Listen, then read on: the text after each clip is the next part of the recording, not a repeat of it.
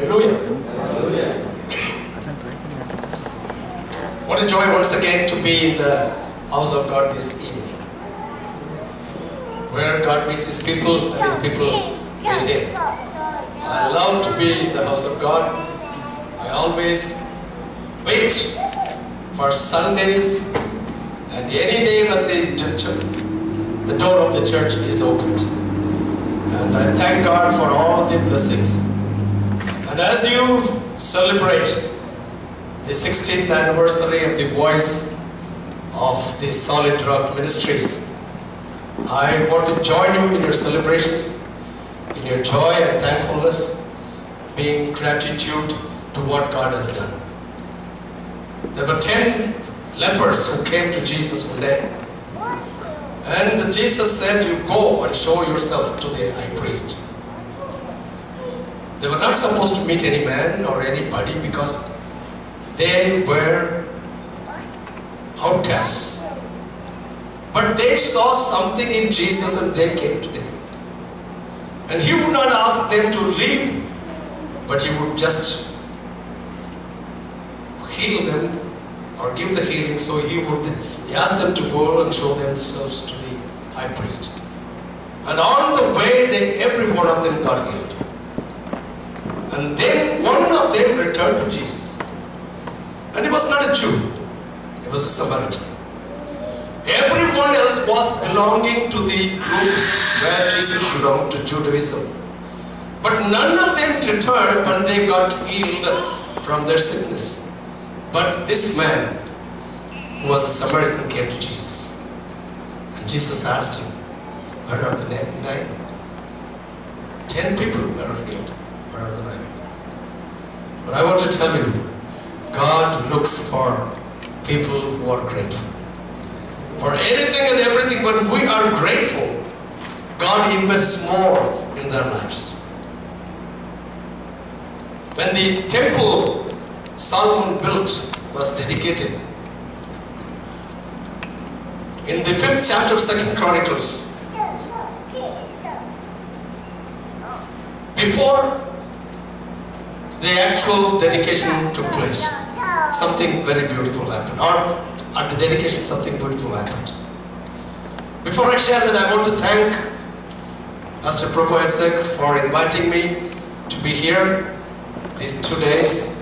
I want to tell you that the joy and the honor was mine, the privilege was mine. Thank you for the wonderful worship. I love the worship of this church because I always believe worship, and gratitude go together. Where there is gratitude, there will be worship.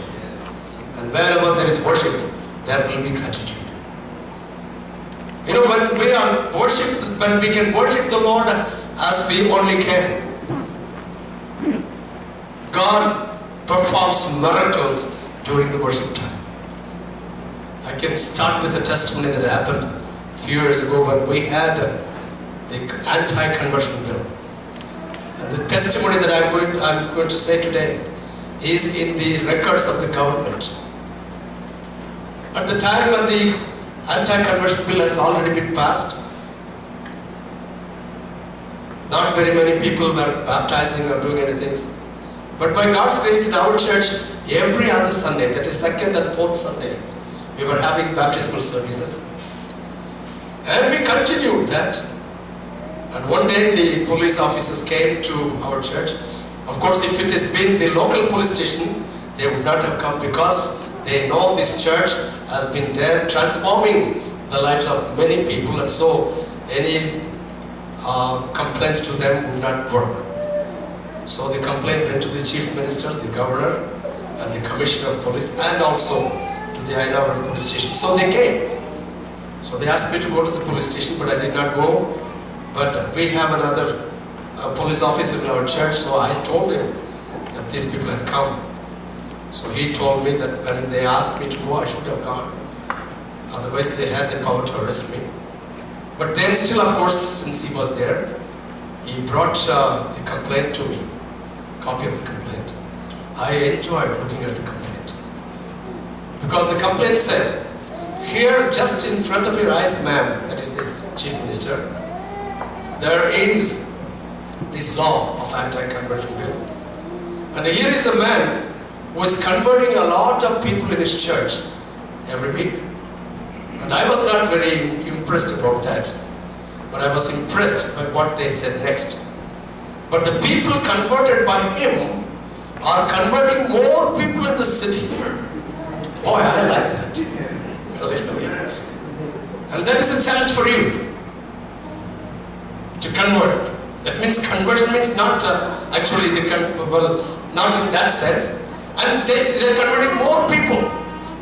So when he came and said, Are you doing this? I said, No, sir. I don't do that. And I am in the same place for 25 years. I have never converted one person from this place.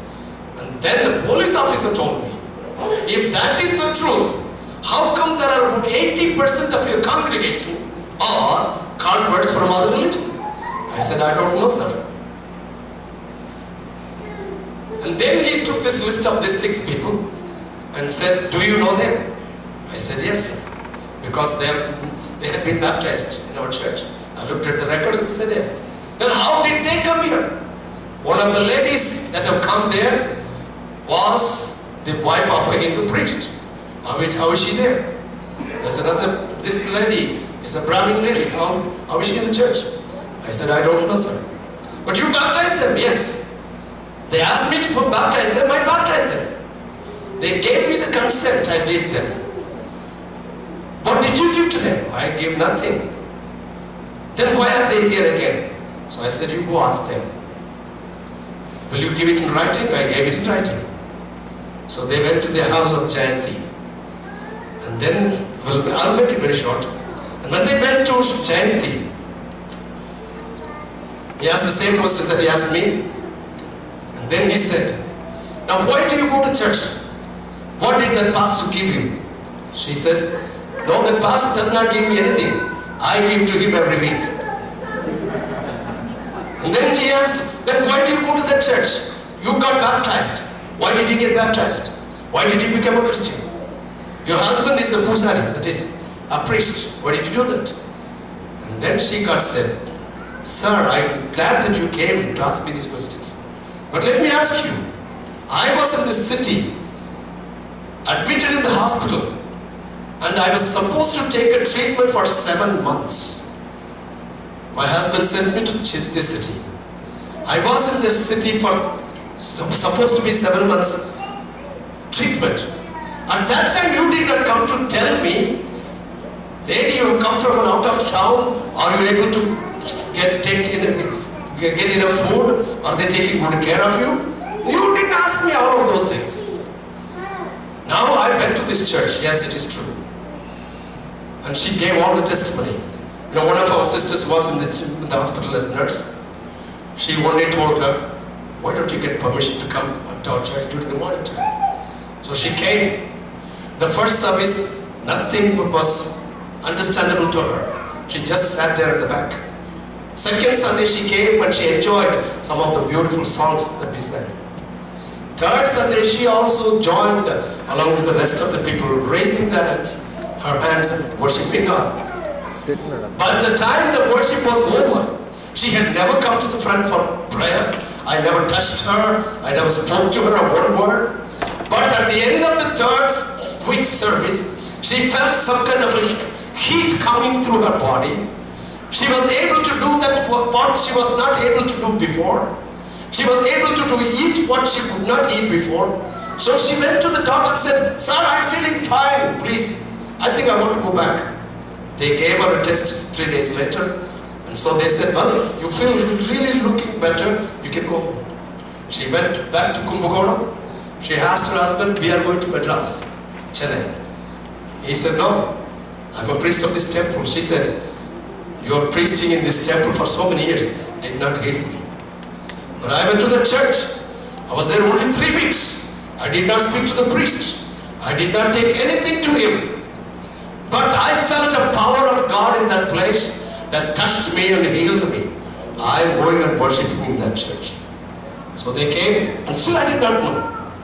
At the time of the baptismal class, I asked the testimony, this is what she said. I was healed. God gave me healing. So we have been coming for the church for the past six months.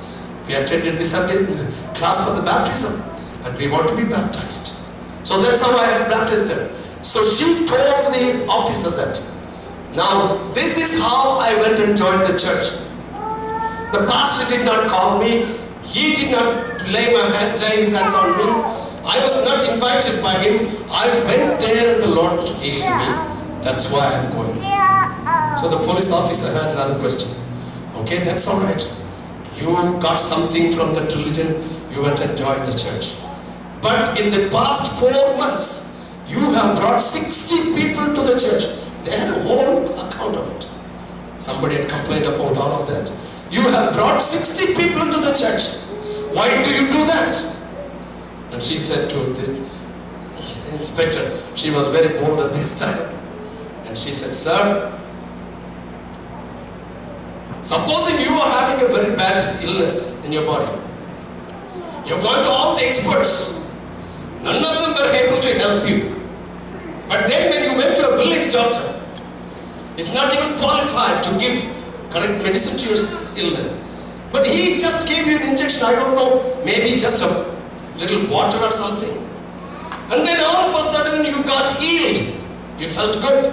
What would you do, sir? When you see people of the same kind of sickness they go through, would you not tell them, hey, don't go there, go to him?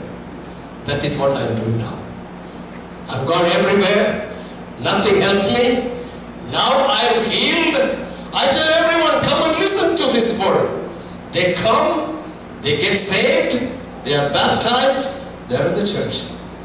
So the inspector said, would you please sign this statement? She said, write everything I have said. And after writing them, he said, she said, do you want me to write, sign with my ink pen or do you want to sign this document with my blood? Oh, he was taken aback. Anyway, he got the signature and our records are there.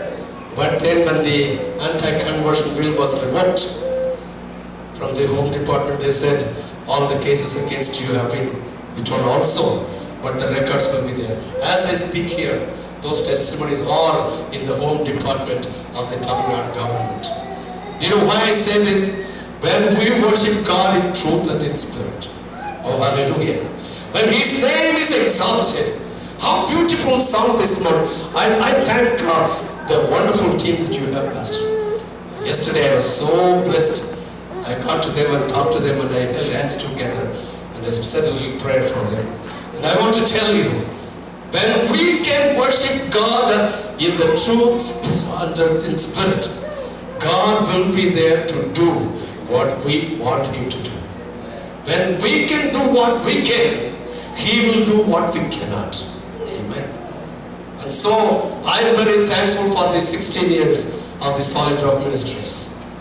And so we are all we were all thankful. So when I read that scripture in Second Chronicles, and one of the little youngsters, little children, mentioned that same scripture in Psalm 136. And you know, they when all of them had gathered together, when they were all together, they said only two things continuously. And when they said those two con- words continuously, the glory of God descended from heaven and filled the temple.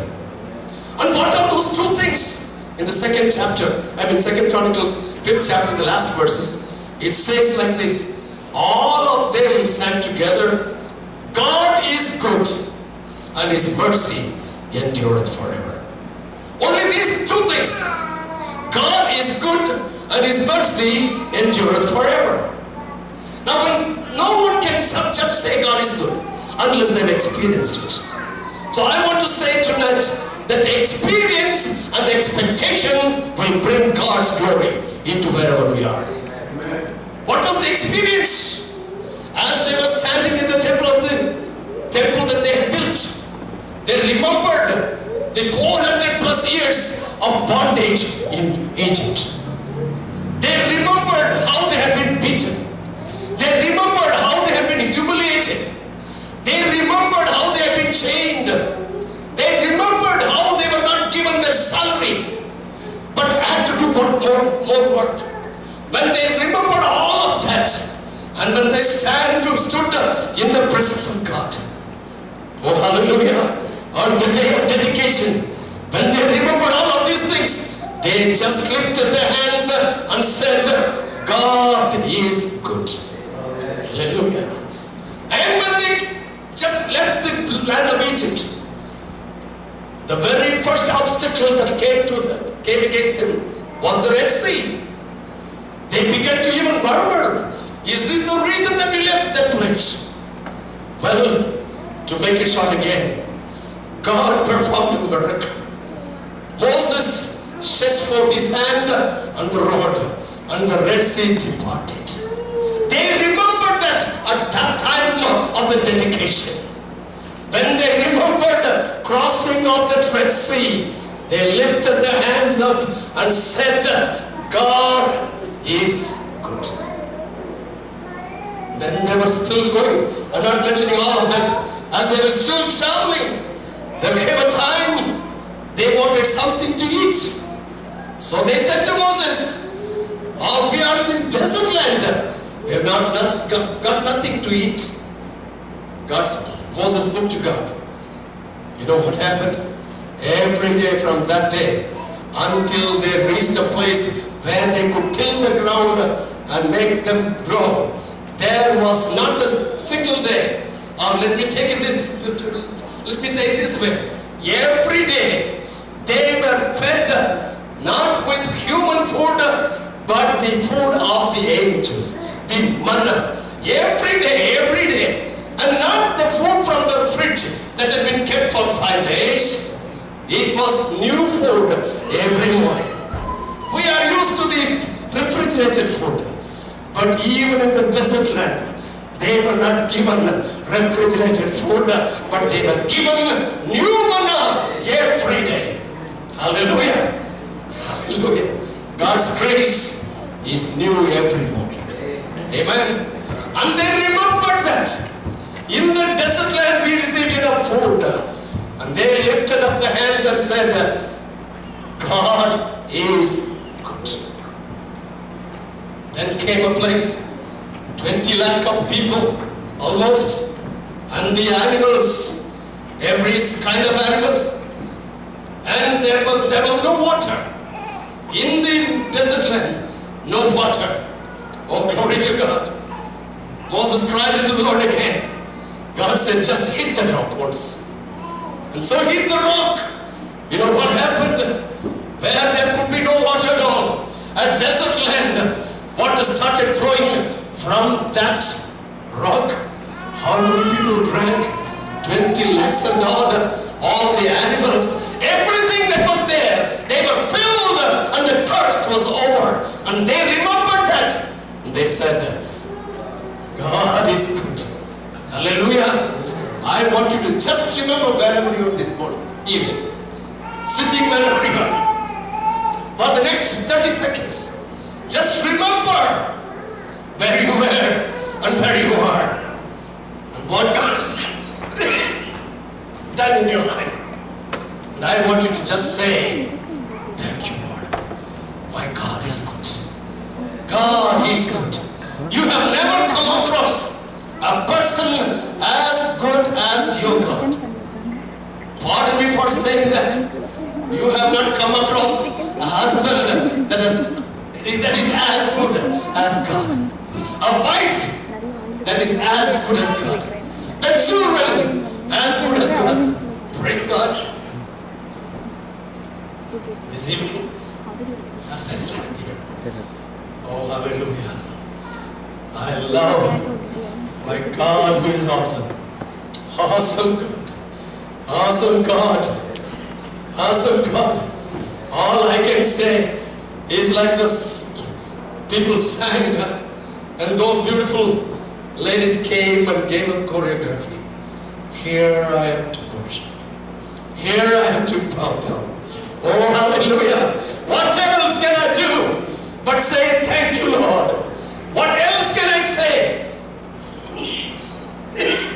but bow before Him. Hallelujah.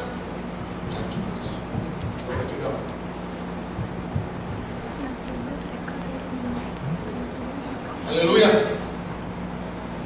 Glory, glory, glory, glory.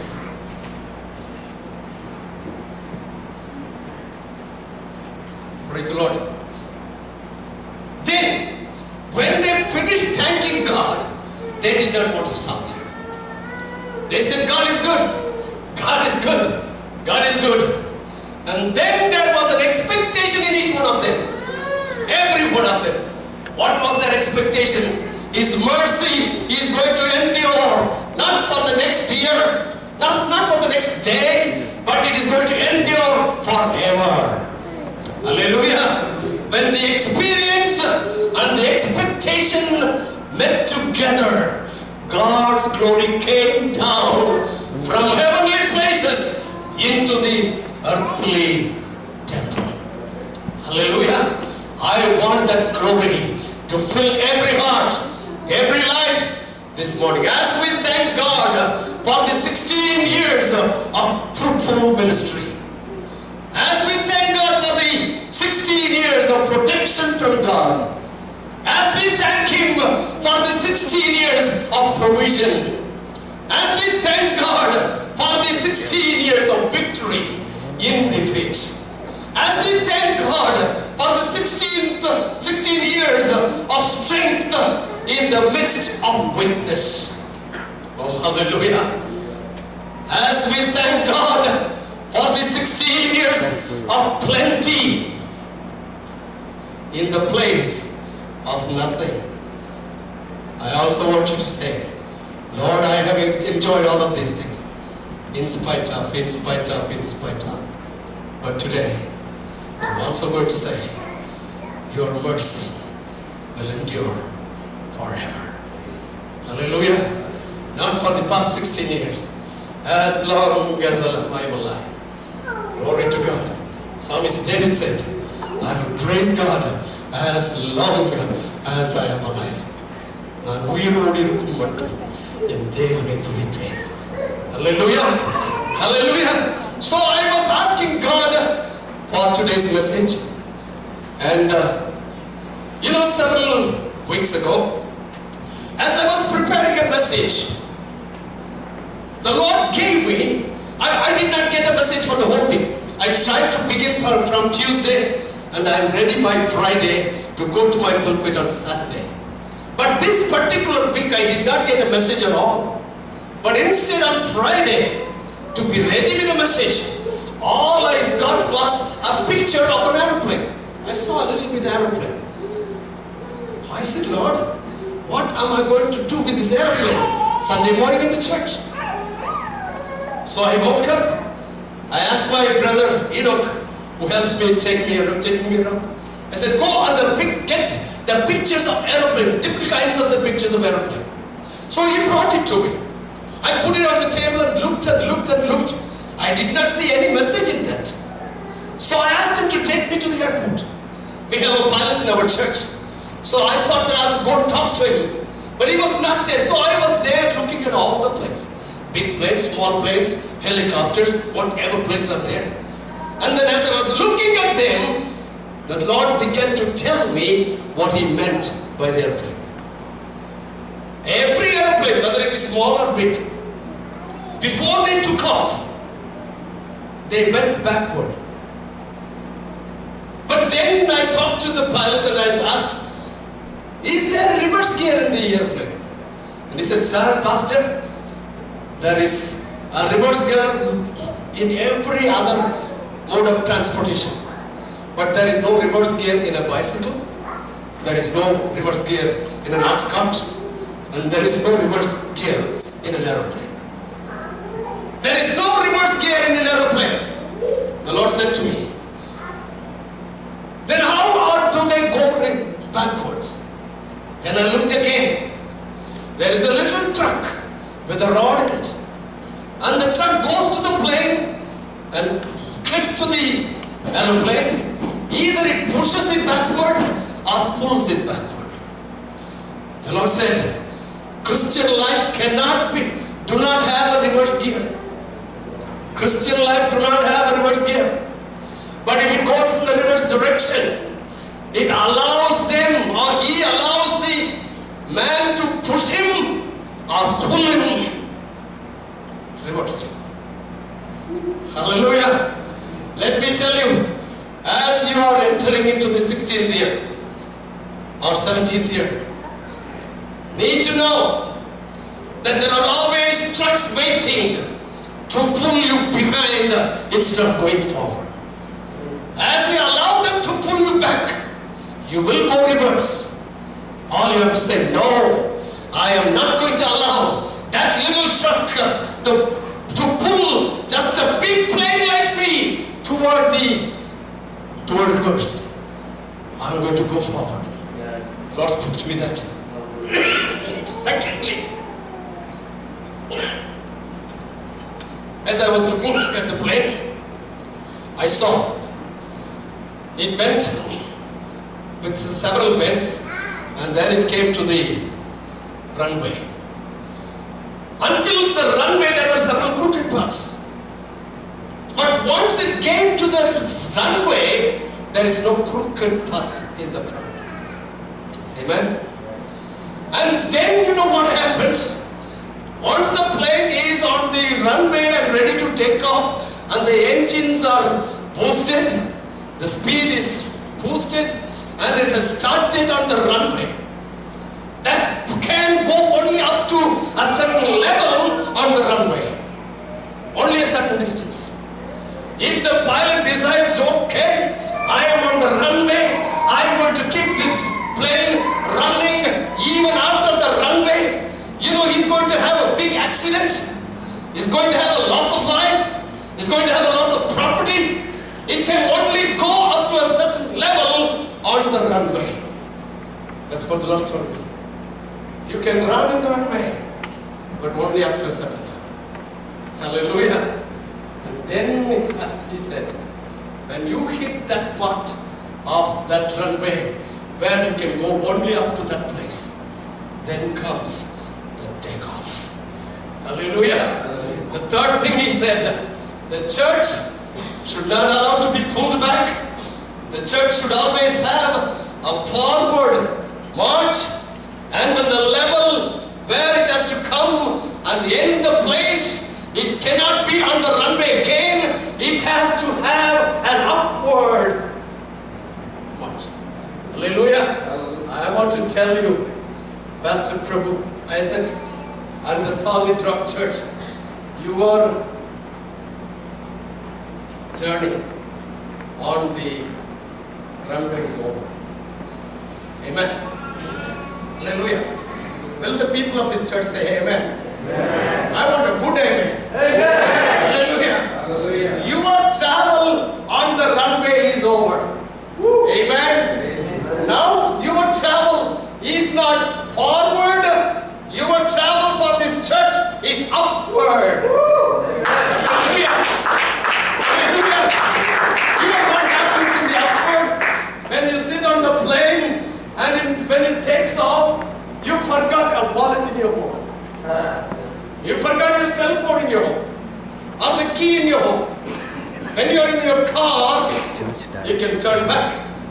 When you're in a bus, you can even ask, Sir, please stop. I want to get off because I need my billfold. You can ask anybody to stop anywhere until you're on the runway. There is always the opportunity of getting off. But once you are upward, there is no stopping. Hallelujah.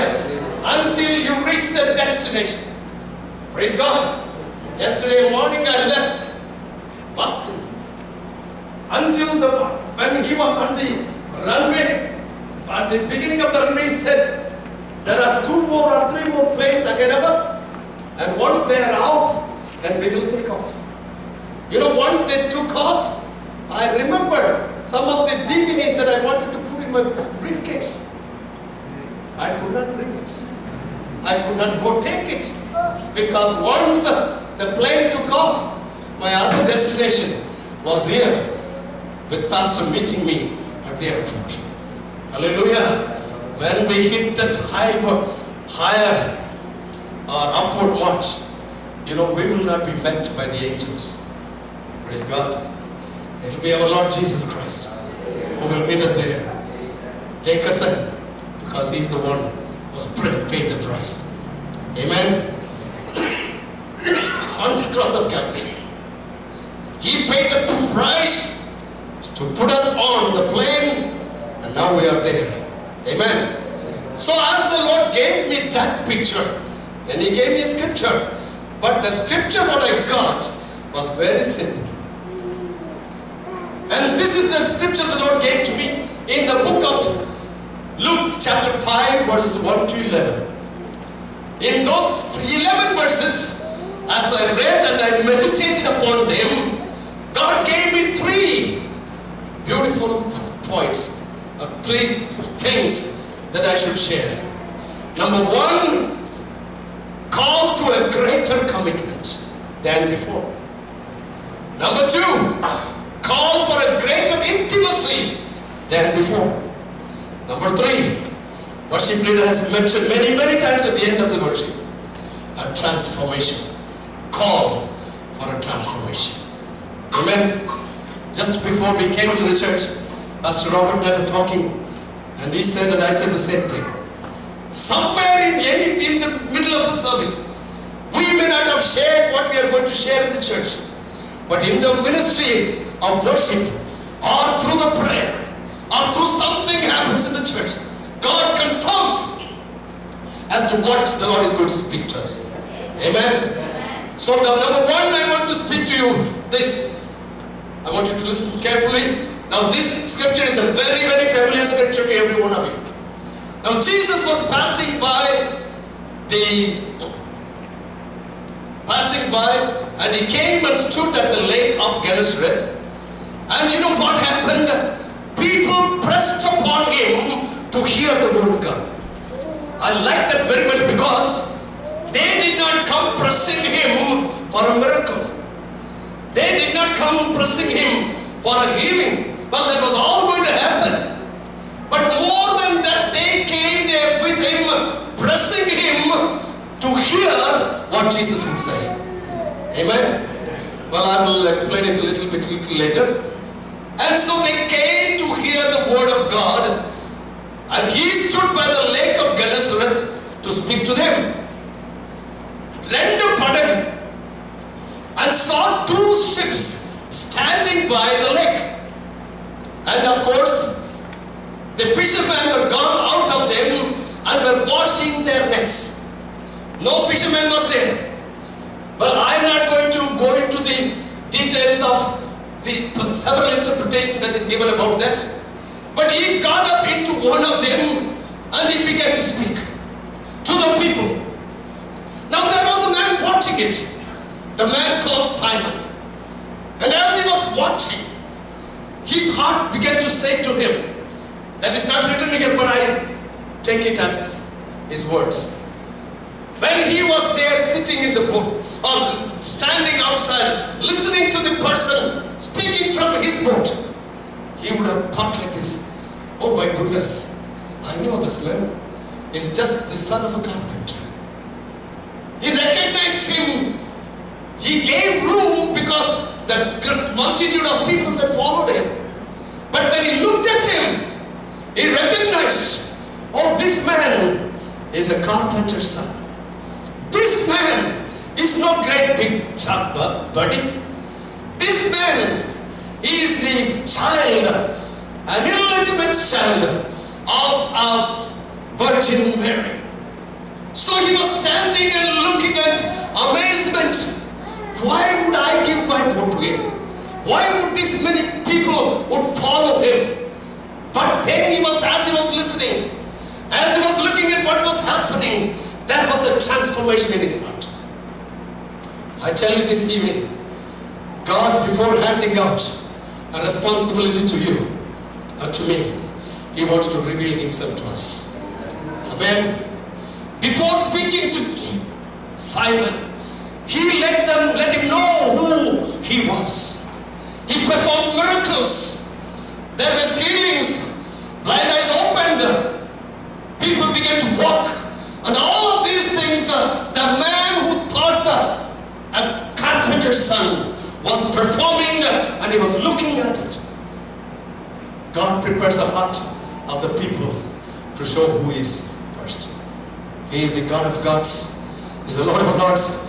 He's the El Shaddai. is the only one who came into this world to give his life on the cross of Calvary for the remission of the sins of the humankind. No one else. Hallelujah. He's the only one who came. Just as the song leader said, he not only came down, not only gave his life, there is no other tomb ever in the whole of the world is open except the grave of the Lord Jesus. When you go and look into it, there it is written, He is risen, He is not here. Hallelujah. I had the privilege of visiting this place, and once I had been there, the life of Jesus Christ, the New Testament, or the whole Bible came very alive in my life. Amen. So what happens is that this man saw. And after revealing to Simon who he was, verse 4 says, Now when he had speaking, left speaking, he said unto Simon, Praise Lord. He let it watch first. And then he said to Simon, Hallelujah. Launch out into the deep and let down your nets for a drought. Now I want also to you to look into that particular passage. In second verse, he saw the men were cleaning their nets. And he looked around, there was no fish. There was only empty net. You know, when Jesus walks by you, if you are cleaning your emptiness, that is where. Hallelujah. Many a times we wa- wash empty nets. There is no fish in there. There is no catch. It was only empty. So he comes and wash, watches them cleaning the nets. Now he speaks to Simon, saying, Launch out into the deep and let down your nets for a drought. That is when, praise the Lord, that is when, as many of us do, he began to speak to Jesus. And you know what Jesus is, Simon said? For the very first time, he calls him the Master. Hallelujah. He had already seen what he was doing. He had already seen the miracles. He had seen uh, the words of love that emanated from the lips of Jesus. His words were always full of grace. And his, he, his heart is full of burden because everything that he had done to the human humankind, it was always uh, to lift them from the miry clay and set their feet on the solid rock. Amen. Amen. So he says, Master, I recognize you as the master, but I want you to hear me. It's true that you are a master, but let me tell you something. I am an expert in fishing. I know how to fish. I know where to fish. I know where I will get the kind of fish. I know how much fish I get. I know the time of my fishing. I know the whole of this sea, sea of Galilee. I know wherever there is fish, I know that place. I am an expert of that. I am knowledgeable of that. And I, I already have the, not, not only the expertise, but I know where I can get what. Saying that, then he said, with all my knowledge, with all my influence, with all my expertise, with all my leadership abilities, I caught nothing. I caught nothing. Oh, hallelujah. He knew that he would get a very big catch. That is why he was there. But with all the knowledge that he had, he caught nothing. And then he said something very, very, very. Oh, He said one very important word. In, in, Tamil, it is Agilum. In Malayalam, it is Engilum. And in it is Tamil. Never, I mean English, nevertheless. Nevertheless. Would you please shout with me? Nevertheless. This is not a shout. Can you shout with me? Nevertheless. I've tried my expertise. I've tried my knowledge. I've tried my familiarity. I've tried my influences. With all of that and all the night I tried, I caught nothing. Oh, hallelujah. Then he said, Nevertheless.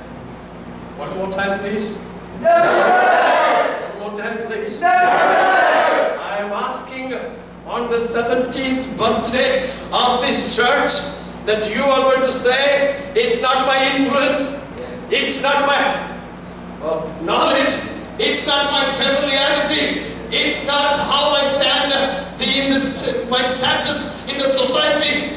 I, I have all of these things. Everything is there.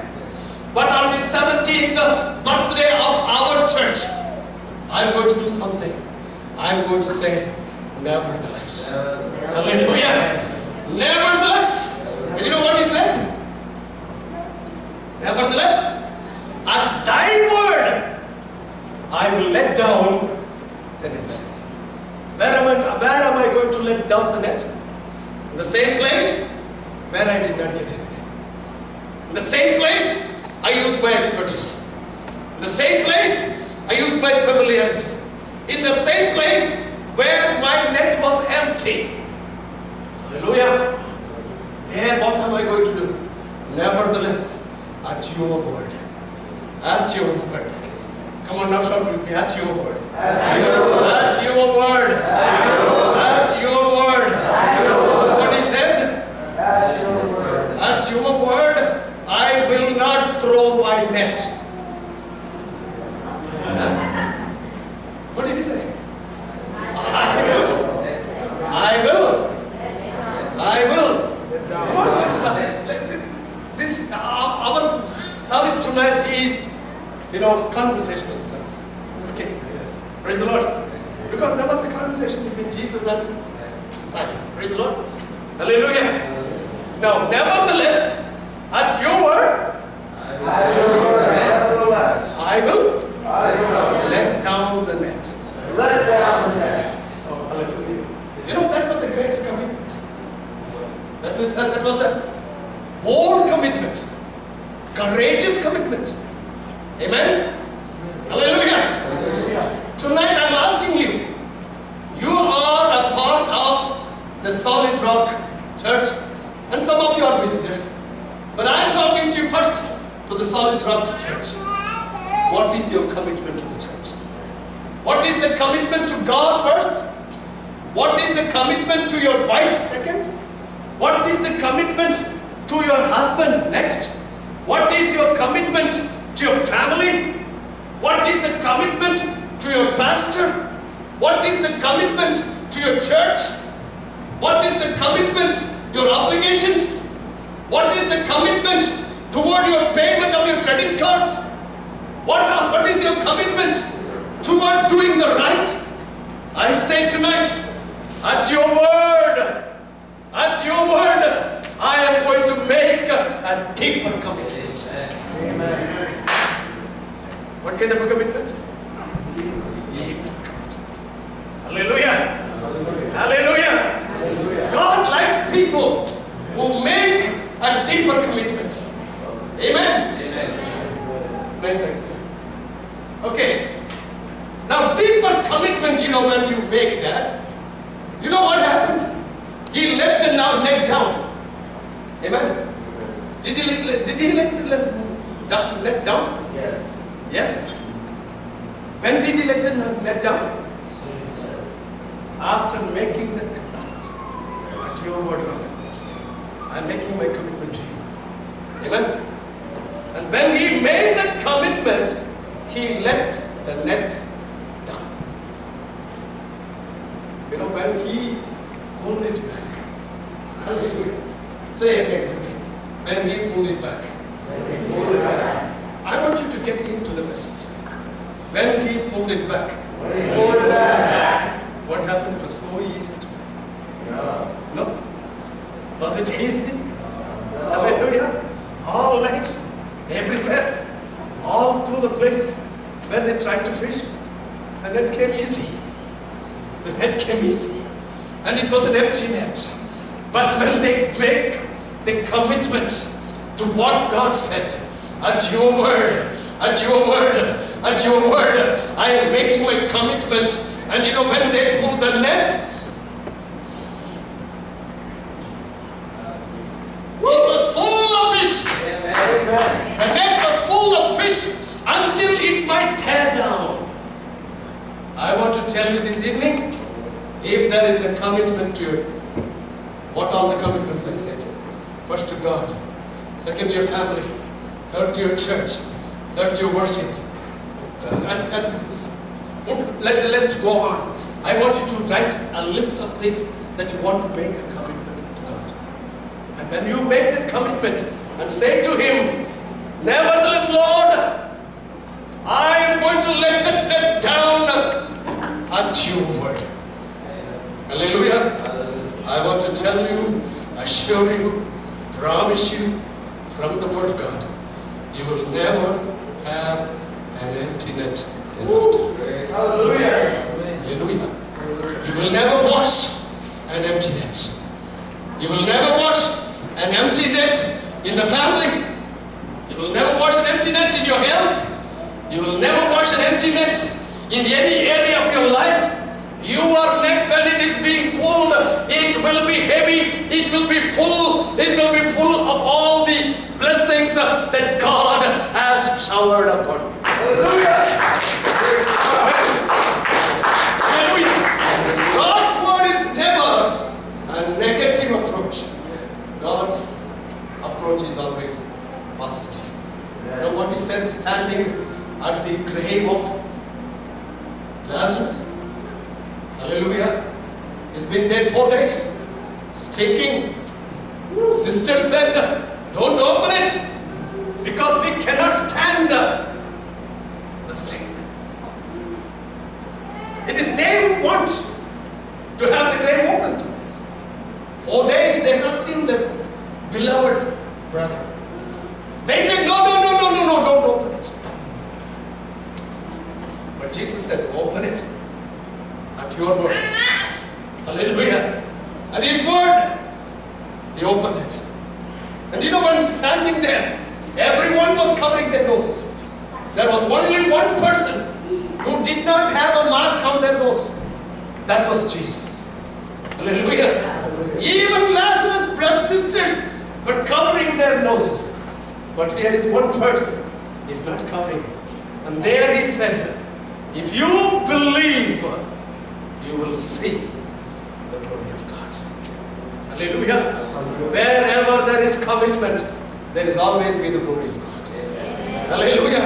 In any situation, it is in the ministry situation, family situation, in our ministry situation, in any situation, when there is a commitment and when there is a faith goes along with the commitment, there will be glory of God. Hallelujah. My time is running very, very fast. So, I more things to say. Praise the Lord. So that is, so I'm stopping there. Now, at the commitment, when I say at the commitment, I need to say some very important things. I will say that anyway because as I said yesterday, I don't say anything until the Holy Spirit tells me. And when the Holy Spirit tells me, I don't fear the crowd. Hallelujah.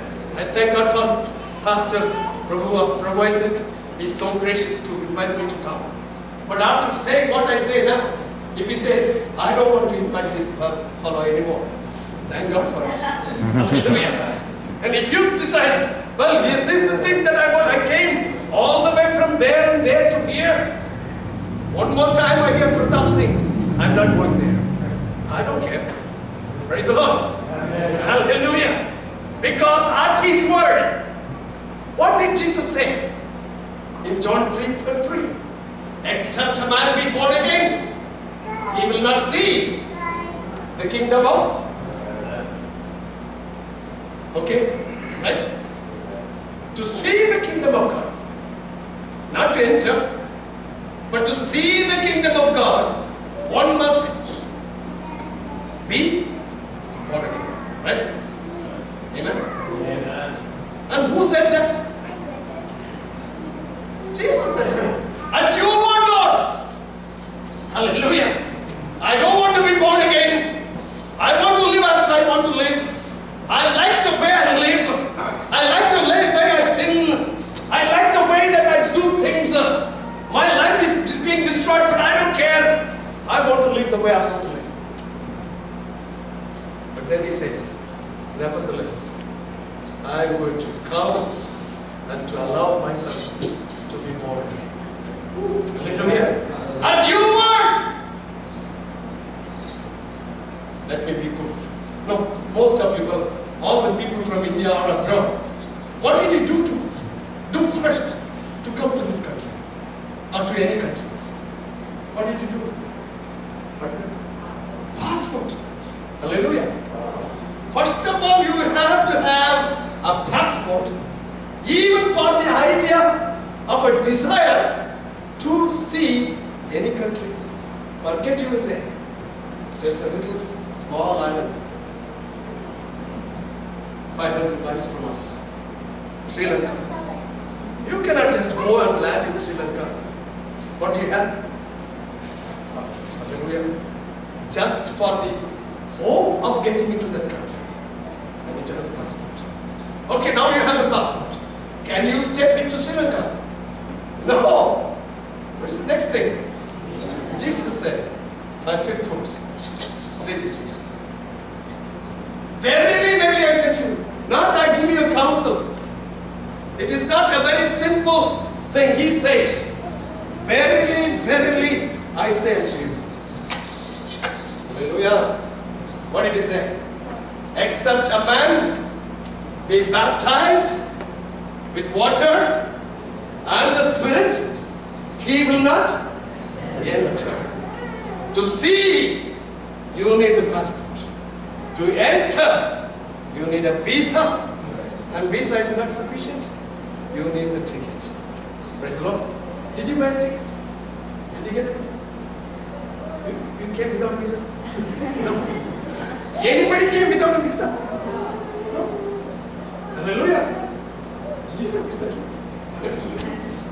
So every one of you know to enter this country or any country, you need to have a visa stamped in your. The Lord is saying to you, if there is anybody here who do not have the visa, the Lord is saying to you, this is the visa interview. Hallelujah. Hallelujah. I am conducting an interview for you. Once the visa is over, uh, interview is over, if you have all the documents, that is your passport, your desire to enter the kingdom of God, and you want to walk a life of holiness, you submit all the documents. Did you know? Pastor Prabhu Isaac, will stamp your passport. Hallelujah. He is ready all the time. If someone would bring the documents to him, visas, and uh, what is over? Interview is over. The person who interviews does not stamp. The officer there. Hallelujah. Now you got the visa. And the visa is not sufficient. I have a visa for 10 years. But I'm not able to come whenever I want to. Before I come, I have to call my travel agent. Praise the Lord. Hallelujah. Holy Spirit. God wants to fill everybody with the Holy Spirit. Especially in the last days. The Bible says, in the last days I will pour my spirit upon the Pentecostal people only.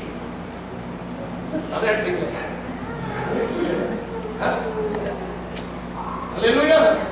Some people may say, oh, we don't believe in it. Well, I'm not, let me tell you, I'm, I'm sorry for saying this, but I'm not speaking my gospel. I'm speaking the word of God. Nevertheless, nevertheless, Hallelujah.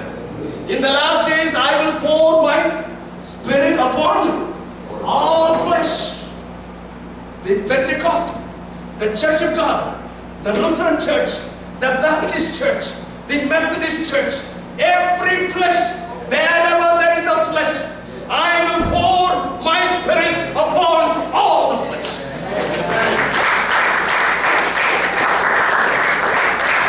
Amen. Then it says, okay, now the spirit is over, the watch is over. So you got the visa, you got the ticket. Amen. I thank God for everyone that has a passport. I thank God for everyone that has a visa. I thank God for everyone that has a ticket. But will you be able to go? With these three things, can you plan? I'm just giving you a little analogy. Okay? What did you do after getting your ticket? Well, you checked in. Well, because your visa is in order, your ticket is in order, so you check. Then what then? Go through the immigration. Amen. And no, immigration is no easy thing anymore. Hallelujah. They can see you from top to bottom. right? Amen. No, see, I'm just giving an analogy according to the Word of God. Okay? When you go into the immigration, you will be checked thoroughly head to foot. You know? When you say, they say, say, say, see something, a little blade, a little pin, they ask you to come out again. They ask you to remove your coat. They ask you again for a tap. Why? You will not be allowed to enter into the plane with any of these things. Hallelujah. Immigration. Hallelujah. Now immigration is according to the word of God. At your word. At your word. Amen. Am I stepping on anybody's toes?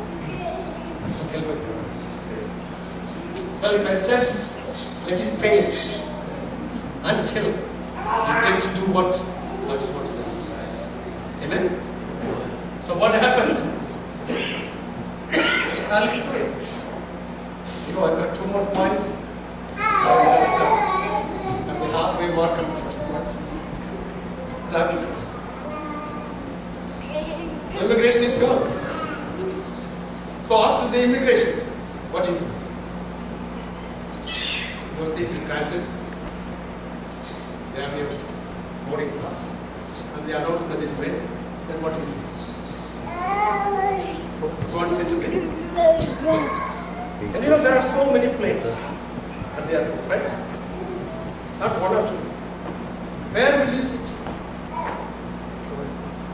Which plane will you can go and sit in?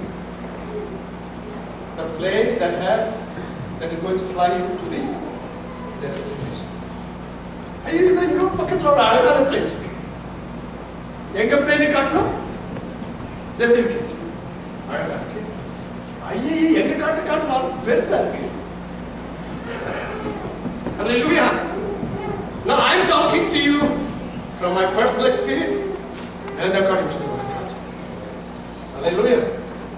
Where your plane is destined to and what your ticket says where you're going, you will go and sit in that. Amen. Amen. And I want to tell you, the plane is the church you are members. Amen. Hallelujah.